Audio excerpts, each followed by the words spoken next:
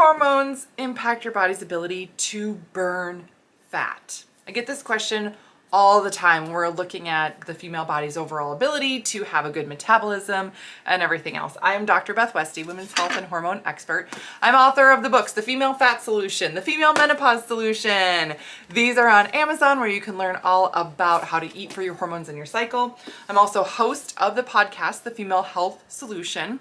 You can subscribe there as well as subscribe here on YouTube. That way you stay updated on all the videos I have coming out. So let's dive in. Let's dive in. Hormones and fat burn.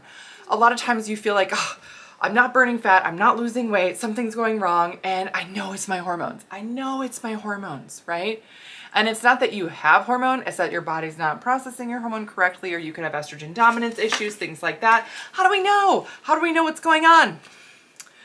Our good friend Dutch Test tells us. Dutch is an amazing way. Dutch stands for Dried Urine Test for Comprehensive Hormones. It's a urine test that tells us what your hormone metabolites are, not just what your hormone levels are, but how your body's processing or not processing things out well, right?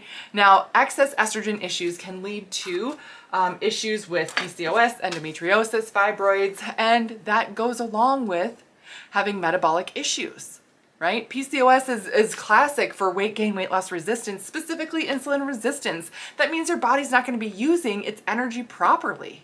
That can also lead to a cascade of other issues in your system too, systemically, right? Not just with your, your female hormones, right? This is, you know, muscle tissue, your body's ability to recover, your sleep, your stress response, all of it.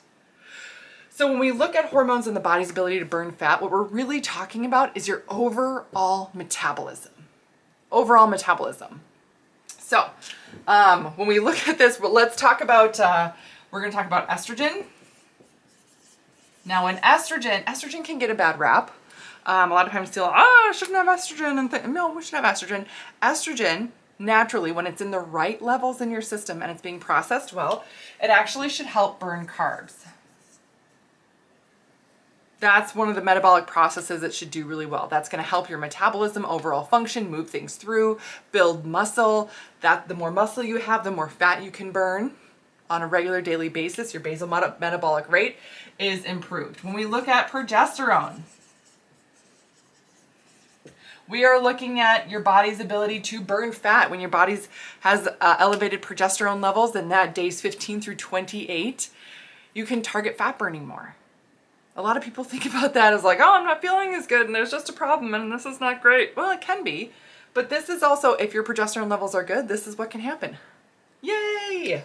When we look at, I'm to write androgen, like testosterone, that is also related with, um, ah, I'm to put fat here as well because it's related to building more muscle to target more fat. So if you have you know, and especially for gals who are going through perimenopause and menopause and your estrogen levels are starting to drop, your progesterone starts to drop, as long as you have good levels of androgen like you should, then your metabolic process can change, but it won't completely fall off a cliff because you've got this there.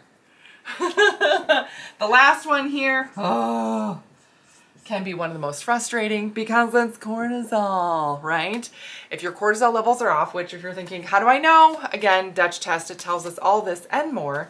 Um, if your cortisol levels are off, your body is going to want to gain weight and not want to target it, especially for the female body, right? It will gain weight. You'll have that tire right around your midsection where you'll say, oh my gosh, I, I've been working out, I've been doing all these things, my legs are getting stronger, I can tell things are changing, but that tire will not change what the heck?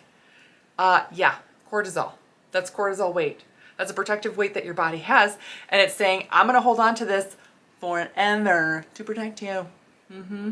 I've seen people be in bad relationships and gain cortisol weight. They get out of that relationship and whew, changes everything. Yeah, yeah. So we want to make sure we are targeting the right thing for you and not just throwing things out there. If your cortisol levels are not at the right place, you can actually do more damage than good. I see this all the time with gals who are like, oh, I'm, I'm really struggling to lose weight and I'm forcing myself to go to the gym to work out and that's how I'm going to lose weight. And I'm like, you have very low cortisol. Your system is in survival. Stop pushing it so hard. You're working against yourself here, right?